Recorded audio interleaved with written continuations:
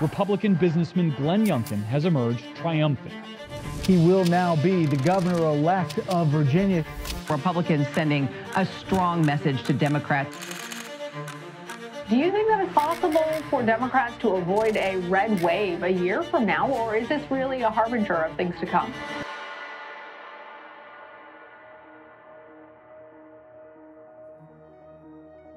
Nobody thought that a Republican governor candidate could win in Virginia.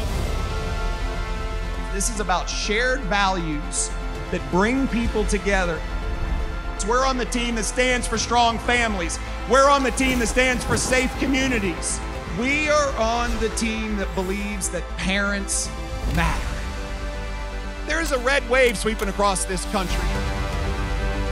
We cannot do it alone. It's going to take all of you. All of you. This is your time to do the work. It's your moment.